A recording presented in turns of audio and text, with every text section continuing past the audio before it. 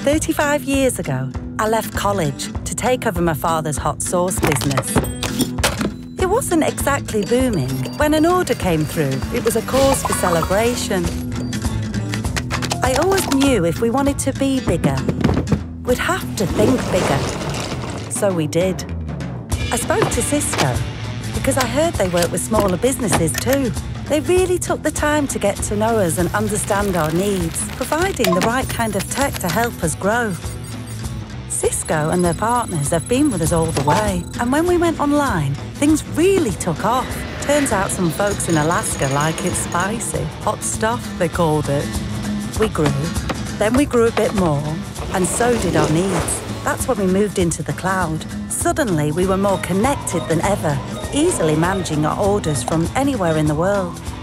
But being bigger meant becoming a bigger target for threats like ransomware. Cisco made sure we were fully protected, which gave me real peace of mind, so I could sleep better at night knowing that my dad's secret recipe was safe and sound. Being with Cisco took us to new heights. You could say everything's changed around here. Well, almost.